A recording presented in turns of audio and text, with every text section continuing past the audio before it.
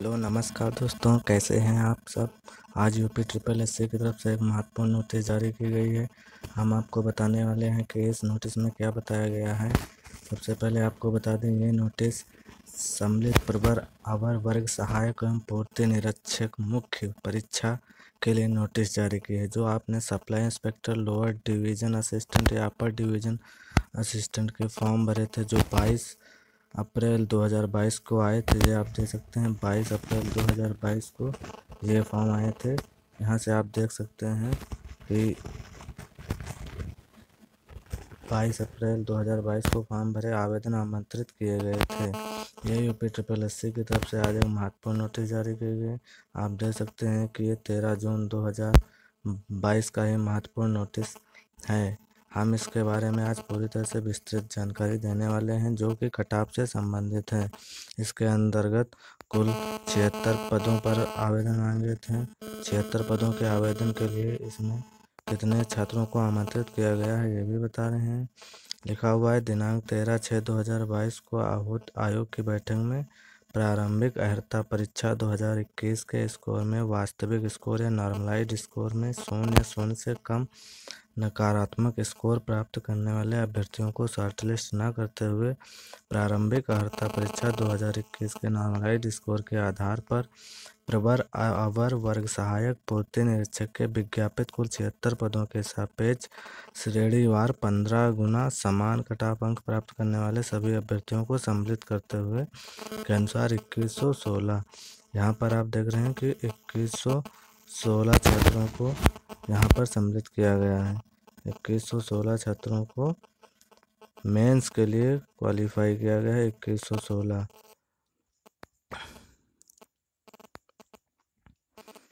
इसके बारे में हम कटाप के बारे में बात कर रहे हैं। तो आप लोगों को पता है कि टोटल मेंस के लिए 2116 बच्चों को शॉर्ट लिस्ट किया गया है। अब इसके कटाप के बारे में हम चर्चा करने वाले हैं।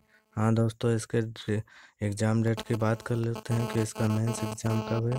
तो दोस्तों, इसका मेंस एग्ज़ाम सत्रह जुलाई सत्रह जुलाई यानी अगले महीने की सत्रह तारीख को इसका मेंस एग्ज़ाम होने वाला है, इसलिए आप लोग अपनी पढ़ाई करते हैं जिन बच्चों का सिलेक्शन इसमें हुआ है, वो बच्चे पढ़ाई करते रहें। सिलेबस मैंने, मेरे यूट्यूब चैनल पर मिल जाएगा विस्तृत सिलेबस। अब इसकी कटाव के बारे में बात करने वाले हैं। सबसे पहले लंबोत आरक्षण।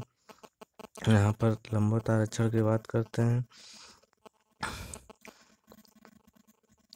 जिसमें सबसे पहले अनारक्षित अनारक्षित की छियासी पॉइंट सत्रह कटाव गई है। छियासी दशमलव सत्रह कटाव गई है। अनुसूचित जात की तिरासी दशमलव बयासी कटाव गई है।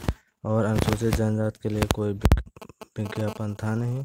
उसके बाद अन्य पिछड़ा वर्ग के लिए छियासी दशमलव सत्रह कटाव गई है। आर्थिक रूप से कमज़ोर में यानी कि ई डब्ल्यू एस के लिए छियासी दशमलव सत्रह गई है।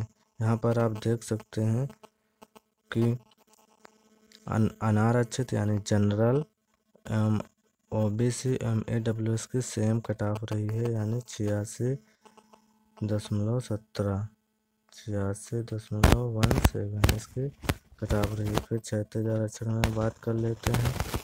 तो स्वतंत्रता संग्राम सेनानी के लिए कोई कोई विज्ञप्ति जारी नहीं की गई थी। विकलांगजन के लिए इक्यासी दशमलव फाइव सिक्स, महिला के लिए तिरासी दशमलव सत्तानबे और सैन्य वियोजित या भूतपूर्व सैनिक के लिए बयासी दशमलव सैंतीस। ये रही कटाव जो कि नॉर्मलाइज स्कोर है। ये परसेंटाइल स्कोर नहीं है। ये आज विस्तृत नोटिस जारी की गई है। यूपी ट्रिपल एस की तरफ़ से जिन भाई जिन दोस्तों का हुआ है, वो अपनी तैयारी जारी कर रखें यदि आपको मेरा, मेरे द्वारा दी गई जानकारी अच्छी लगे तो प्लीज़ सब्सक्राइब करें, मुझे प्रमोट करें। धन्यवाद दोस्तों।